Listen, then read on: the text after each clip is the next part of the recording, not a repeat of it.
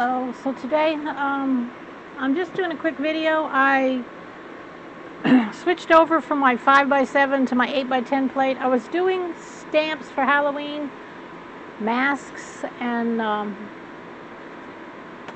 skulls.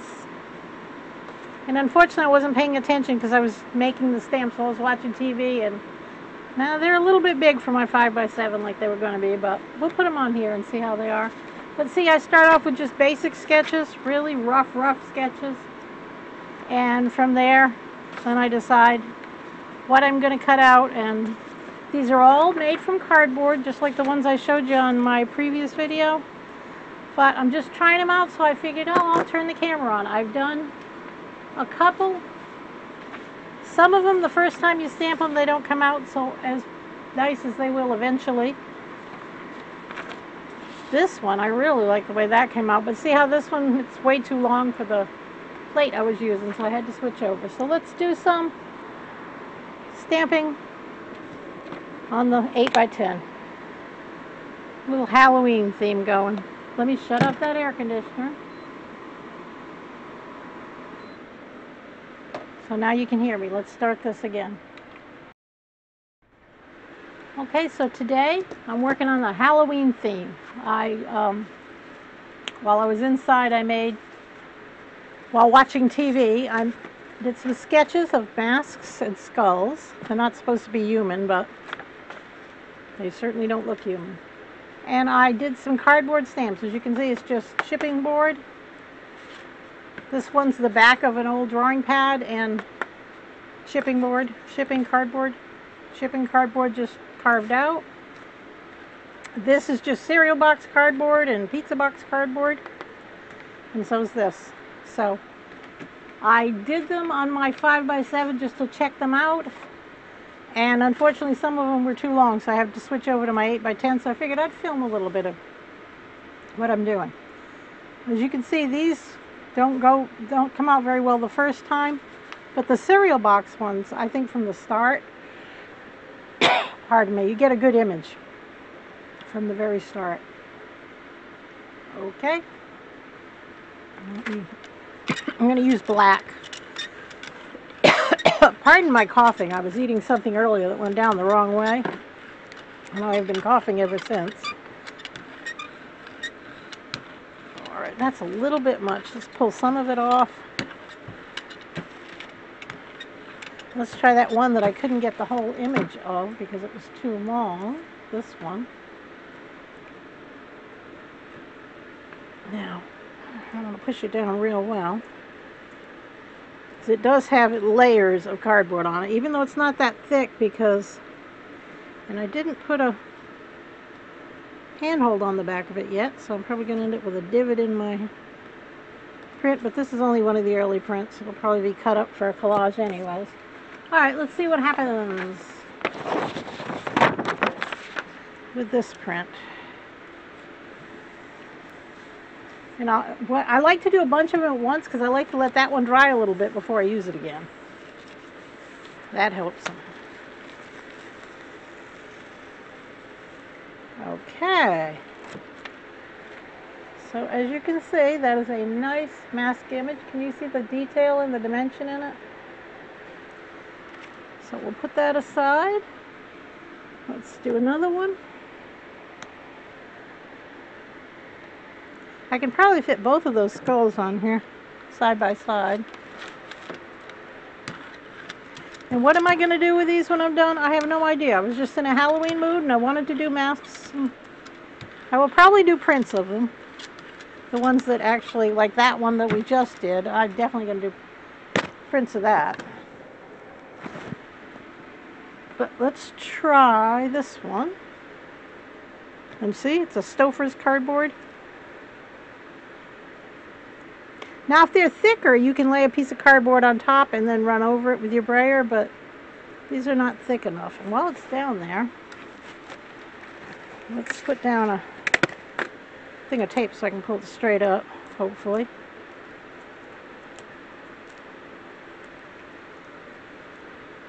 Pushing it down everywhere, but not, not sliding it around the plate. So, I may still need to help it a little.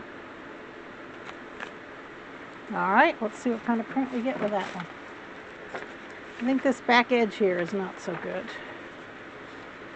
But see, each one you do, you can look at and see where, where am I going to need to put more pressure? Where is it not doing what it's supposed to do?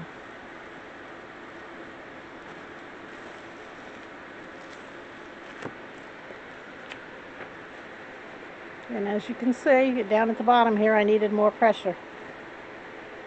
Can you see that? But, see, I can go back with pen and ink, and I, I will go back with pen and ink and color in and, and actually make something out of this. Even though it's not a good print as it is, it's good to work with. And it's one of my favorite things to do, to just doodle on the prints. Let's go this way and do, see if we can get both of those skeletons on here. They didn't do really well the first time, but I noticed the, the top of them is the cardboard from package from um, a box, cardboard shipping box. And I noticed that takes a couple times before it actually gives me a good image. I think it needs to get a coat of paint on it. And somebody was saying about, uh, you know, cardboard will tend to fray here and there, and they were worried about the little bits.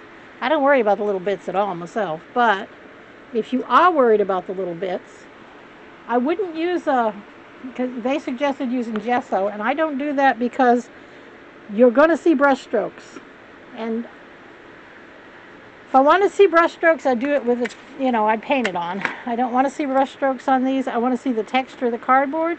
So if you if that bothers you that, you know, the little bits are loose, you can try sanding them off gently or you can try um, some kind of spray sealer um, like Ceramcoat or I mean any kind of acrylic spray sealer should work. And I don't know why I didn't cut around these I just left them rectangle. Let me give it one more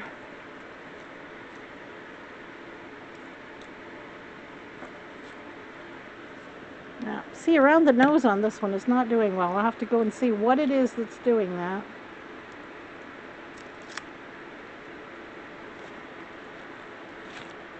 Now this one's doing fine. That one, I think I may have used some paper over the top. I'll have to go see. And I think that paper may be not wanting to let up, let the paint up. But you really do have to do these a few times. So that's why it's nice to, you know, just know that the first ones aren't going to be that great and you can go back with pen and ink and uh, I think actually it's the most fun part. Okay, so those don't look bad at all. This right here needs help, but I can see, and like this, if I, if I like the print, I could go in with white chalk or white pastel and lighten up that area that I think should have been light but is dark. So I can fix that. Now I got one last last one to print and then I'll print that first one again and then I'll be done. Let's and you could actually yes you could pull that up with some uh, with another color over the top but I actually just wanted black and white with these because it's my Halloween mode. And I've got some more videos planned. Uh, we're going on vacation for a short time in October, but I'll have videos my goal was two a week because not only do they, I, I think it's nice to share with people, they also keep me inspired and keep me going. I have discovered that this is really works well for me because I'm always doing something different. That's just the way I am. But it's really nice to be able to share it with other people. I'm pushing down everywhere on this one, and I think I'm going to give it a good push, because this is the first time this one's been used. And I may need to do it a couple times before it really, really gets good. I don't think I'm going to be able to pull it up with the tape the first time, but first time I use it, it's really stuck down there.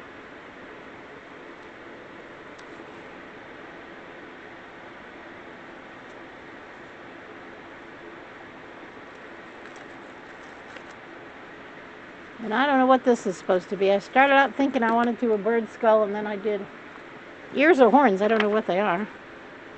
I just went off on a tangent.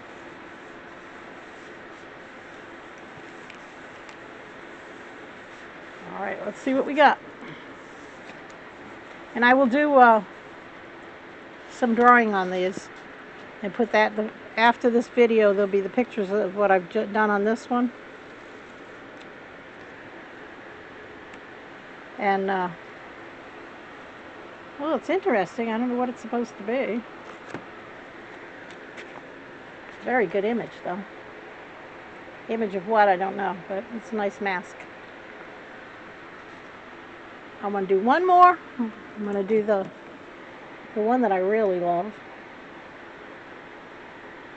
See how it does on the third try. And then I'm done and I will like I said I will put images of everything that I've done and I'm going to take some of these in the house and uh, draw on them and I'll put those images on there too. Because people have asked me what do I what do I do with the prints? Well I do a lot of things with them I draw with them I cut them up. You know but quite honestly I love gel printing so much that even if there was nothing I could do with them I would still be gel printing. I know nobody would understand that unless they've done gel printing. Now I want to be careful because I don't want to get paint on my baren here, my baren. Use whatever you got. being careful not to slide, but I'm, I'm pushing down on every inch that I can. And I'm going to go look at the first one that I did to see where there's any place that doesn't come up good. Okay, so that would be on this side. Did not come out that good last time. Especially pushing down on that.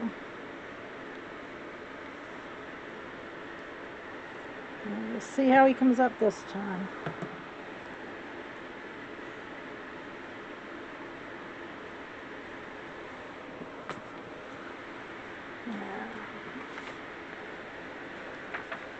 still a problem with the crown on the one side of it. Doesn't come up as good as the other side, but I'll work on that. And you know what? You can take these and actually you can go over them with, uh, like if you wanted and decided you wanted the lines across the nose, you could go over that with some glue. And it would be, you could add extra to what you've already got, even once you've done it.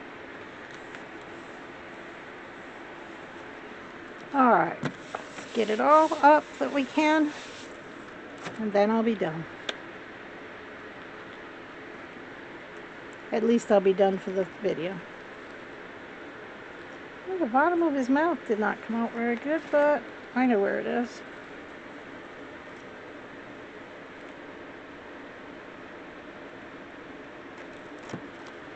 And there you go. There's that one. You see that? See the detail you get in them? Really love these cardboard stamps. So I got two good ones from that one and a couple okay ones. So I'll keep going on this and uh, like I said at the end of the video I will put the pictures of what I've done and then what I do to it because I do doodle on them and reinforce them with inks and paint and chalk and even some crayon. I've done some um, frottage work on them. So um, thank you very much for viewing this. Please like if you like it. We're trying to get this channel going. Subscribe if you want to see more. And for all of you that, that are giving me those good attaboys, thank you very much. Everybody needs that in their life, especially now. People need the attaboys. If you've got them, give them. Thank you very much, and you have a nice day.